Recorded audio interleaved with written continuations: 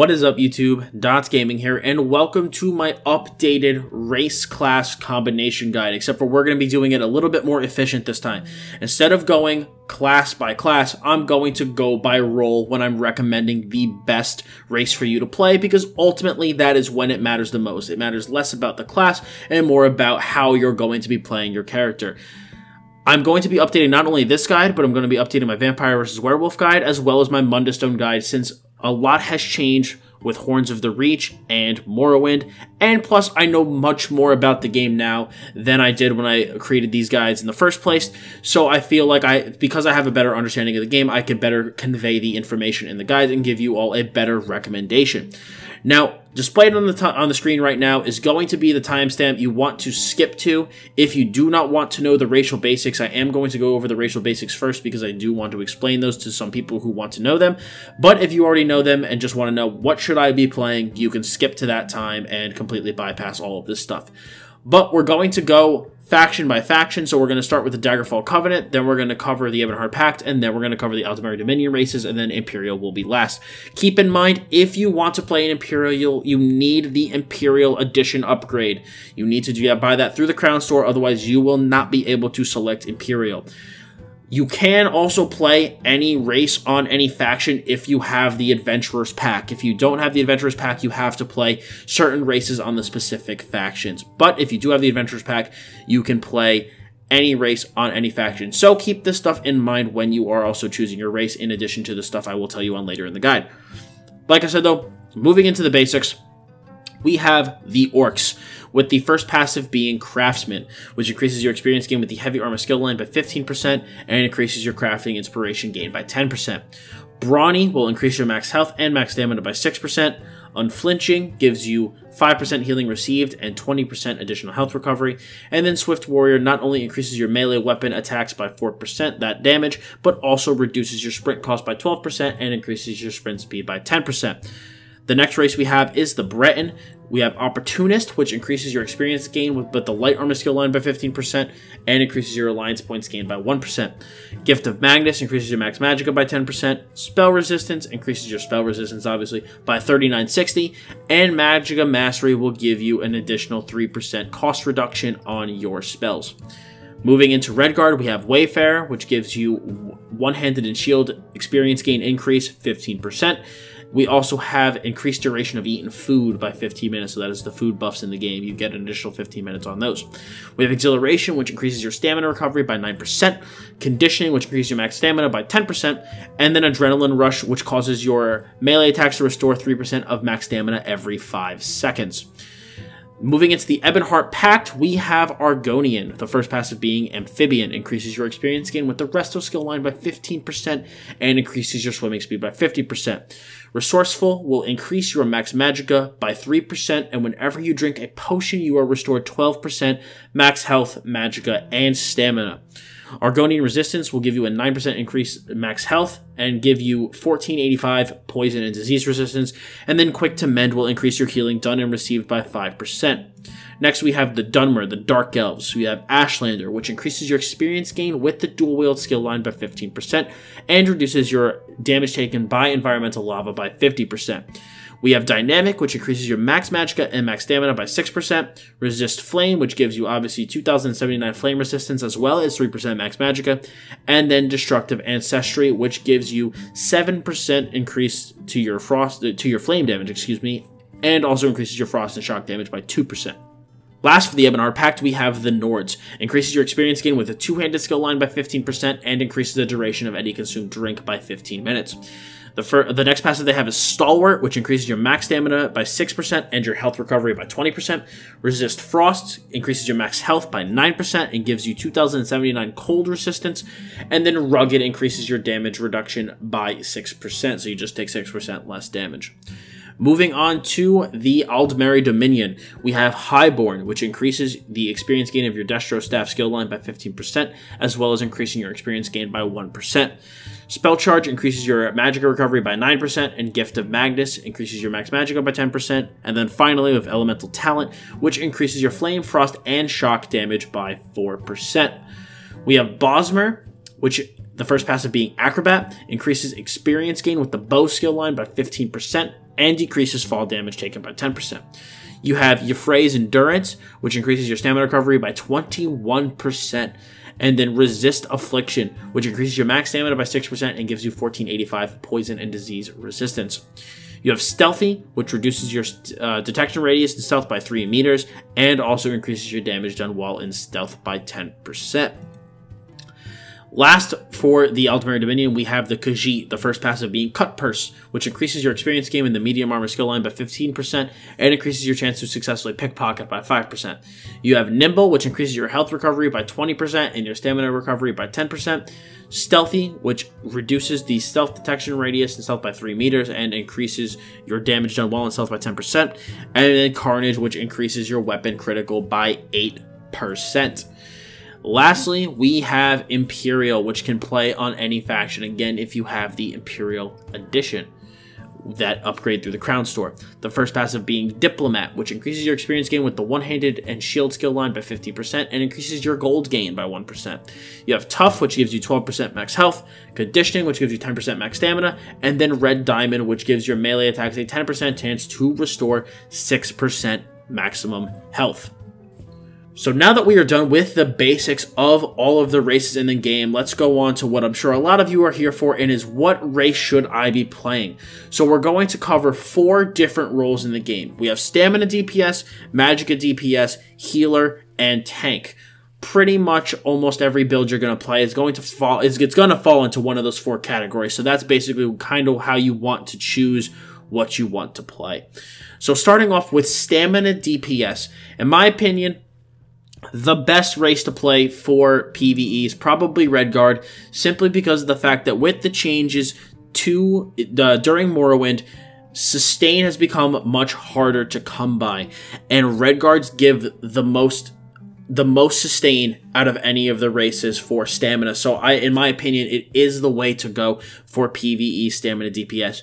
Khajiit are still close behind, don't get me wrong, that weapon critical is still very helpful, but I think ultimately they will fall a little short to Redguard. Again, we're not talking huge percentages here, guys, but I still think Redguard is superior to Khajiit, but Khajiit will, will follow up as your number two. For PvP, Redguard is also a good choice, but I still I like the Wood Elf for PvP having uh, especially if you're going to be playing a stealthy build having that that stealthy passive will really help you a lot uh, as well as having that extra poison and disease resistance, you know, which is a which is something in PvP that you do encounter a lot. Orc is also a really solid choice for PvP. They give you max health and max stamina, both are very good stats for PvP, and gives you melee damage increased by 3%, as well as, you know, reducing sprint costs and sprint speed, which are both things that you are going to be doing in a PvP environment. So having a cost reduction to those things is going to be very beneficial. So basically, to sum up stand DPS, Redguard's number one for PvE, Khajiit will be number two. And then for PvP, I'd say you could pretty much choose any one of these four. It's going to kind of be personal flavor about how you want to play your character. But I personally would say that Redguard and Wood Elf are probably the two best. Orc, Orc and Khajiit are still good again, but it's going to depend more on your build and your playstyle. But any one of those four races will be good for a PvP environment. Again, it really depends on how you want to play it. Moving into Magic DPS, in my opinion, High Elf is the best. After playing a Magic DPS for, for a while now, I, I like the High Elf. I really do. For, for general classes, I really think High Elf is the best for Magic DPS. That 9% Magicka recovery is so helpful, again, especially with Morrowind be, making recovery a lot harder to come by. I really think Spell Charge is something very beneficial to have, and plus you get a 4% increase to all three of your element types. Breton is probably, I'd say, my number two in general cases. You know, you do get still that 10% max magicka increase, as well as the the cost reduction on your abilities. So Breton is another good choice, and then Dark Elf is another viable option. Uh, and also, it gives you a little bit of max stamina. You do get about 9% increased max magicka, and you do get extra damage to flame and to frost and shock. But I think not having that cost reduction or the extra regen kind of puts it in third, in my opinion. The only time that this order switches is if you're playing a Magicka Dragon Knight. If you're playing a Magicka Dragon Knight, Dark Elf skyrockets to the front because of the fact that that destructs the destructive ancestry passive does affect your class abilities. The class abilities that do deal flame damage are going to be increased by destructive ancestry, so Dark Elf is obviously going to be the best choice for a Magicka Dragon Knight. A lot of people do ask me though, Dottz Gaming. If I'm playing a vampire, isn't isn't Dark Elf just the obvious choice?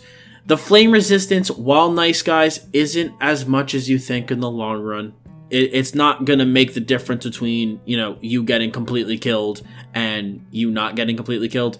I, I think that you should ba- you should not base your race choice here on whether or not you're a vampire. I'm just addressing this because it is a common question I did I do get asked, um, but I would just pick again pick the races based on the stuff I've told you now and and don't pick it based on on whether or not you're a vampire. In terms of PvP, I'd say the same stuff that I talked about applies. All three races are, are viable for PvP. I'd say pick one based on your personal preference. Like I said, for PvE, I still do think High Elf is number one, Breton being number two, and Dark Elf being number three. Um, but in terms of PvP, either of any any of those three are perfectly viable. My personal favorite is High Elf, unless you're playing a Magic DK, then I would play Dark Elf, but that is just me.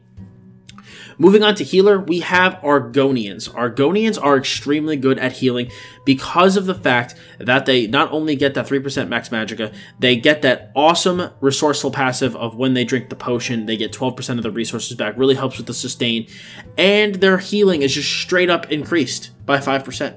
You know, all of your healing spells are just it's all increased by 5%. You know, it, it's it's really, really good, and I think will really benefit a healer. If you don't want to play an Argonian, though, I do say another uh, good option is the Breton. I'm not sure which one is better, Argonian or Breton. I'm pretty... The, the, again, with a lot of these races that I'm talking about, guys, the difference is very small. The, the, there is a difference between them, but it's not like game-breakingly, you know, game-breaking stuff here. There, there are some differences, but it's they're, they're, it's relatively small percentages. But Breton is again very very good for a healer because of the fact that you get that cost reduction, the spell resistance, and the max magicka. I don't like high elf for healers because the passive that increases all of your damage with the elements done kind of goes to waste, which is why I think Breton's probably a better choice. You know, you also get some spell resistance, making you a bit tankier as a healer. Always a good thing to have, but I think you really can't go wrong with Argonian or Breton. Again, same braces for PvP as well. I think both are really solid choices. Finally, for a tank, we have Argonian is just sitting in the number one spot. Having that resourceful passive of whenever you drink a potion, you just gain all of your resources back is awesome. Most tanks really do plan to play a hybrid kind of playstyle between a Magicka and Stamina build, so it, it, resourceful is just so good. It is just so good. Also, couple the fact that you get some extra magicka and you get 9% max health and some poison and disease resistance, and then the healing done to you is increased by 5%. Argonians are currently sitting at the number one spot for tanks. The number two spot, though, in my honest opinion, does go to the Imperial due to the fact that you get a straight up 12% bonus to your health. The, the extra stamina is nice as well, and Red Diamond is is very good for giving your melee attacks some, you know, a chance to give you 6% of your max health back. I definitely think Imperials are sitting at that number two spot for the tank. And then for number three, tied for number three, is in my opinion the Orc and the Nord. You you really you can't go for for a third place spot. They're they're both solid choices. I wouldn't say one is better than the other personally. Unfortunately, in my opinion, Nords are a little weak. Um, I think they could use some sort of damage bonus because they really only fit well within the tank role. Uh, and even then, they, they sit at a solid third place, you know, tied with the Orcs for third. So, personally, I think that you would be better off going with Argonian or Imperial. But if you really like Nords and if you really want to play Nords, I would recommend playing one as a tank. The last category I actually want to talk about, though, is the best jack of all trades races. I've mentioned this in my first racial guide, and I was actually I almost omitted it in this guide, but I want to put it back in. And the what I consider the jack of all trades races is races that are good in the majority of the rules. What race can I choose if I kinda if I want to try a little bit of everything, or maybe I don't know what I want to do, and uh, I I don't want to have to you know pay for a race change later on. I would recommend one of the three. Personally, I'd say Argonian is the best. Argonian is probably the best jack of all trades race, in my opinion. Coming in second would have to be Dark Elf, and then coming in third would be Imperial. All three races are very, very good for for just general everything. Argonians with the resourceful passive, you know, you can't go wrong with having all of your resources being restored whenever you chug a potion. They're, all of their passives are, are pretty good for every role. But every role will find use from those passives. Dunmer are good because you get an increase to, to both max magicka and max stamina. Again, if you choose to play stamina Dunmer, you do kind of lose out on destructive ancestry. But again, we are still talking about general races, and then finally Imperial at number third because all classes can use some extra health and some extra stamina. Honestly, Imperial might even be a little bit better than Dark Elf for Jack of all trades, but again, any of those three would be a solid choice. Alright guys, that is it though for my racial passive guide as well as the best race for each role. Remember guys, the most important thing though when playing your character is having a solid build and a good rotation. Your race will just augment that. Your a bad race will not make up or a good race, excuse me, will not make up for a bad player. You still need to focus on perfecting your rotation, perfecting your build, and the the better race will help augment that and make and bring you to that next level. Now, don't get me wrong, while there is a big difference between, say, playing a high elf Magicka DPS and a red guard Magicka DPS, obviously there's going to be a huge difference there. The races that I mentioned for each role, the differences between the best race and the worst race is not nearly as big. I personally, like, let's say you want to play a stamina DPS and you just can't stand red guards. You just do not want to play a red guard and you're like, I really want to play a Khajiit or an Orc you're not going to you're not going to be bad because of such a choice. You know what I'm saying? You're gonna yes, don't get me wrong, you may lose on a tiny bit of optimization, but at the end of the day, it's not going to make or break your ability to play as a stamina DPS. And the same applies to all three roles. Again, you're not going to want to play a, a high elf stamina DPS. That would be not the smartest decision you can make. But I'm talking the races for each role you can pretty much pick and choose between those, and you might only lose on a couple percentage points here or there. It's not going to be anything game breaking. Anyway, guys, if you enjoyed this guide, I would really appreciate if you smash that like button. And to see more content like this, please subscribe to Dottz Gaming and as well as hit the little bell next to it to always stay up to date with my content. If you want to read this guide though, if you want to come back and let's say uh, look at this guide later, please check out dottzgaming.com for the written version of this guide. Link is also in the description below. And remember guys, subscribing here and following on Twitch also lets you know when I go live. I do stream on both platforms on Monday and Wednesdays, so you can stop by the streams if you want to hang out with me live. Anyway guys, if you have any questions, always as, as always, leave a comment below. I really appreciate you watching, guys. I love your faces, and I will see you all next time. Have a good one, everyone.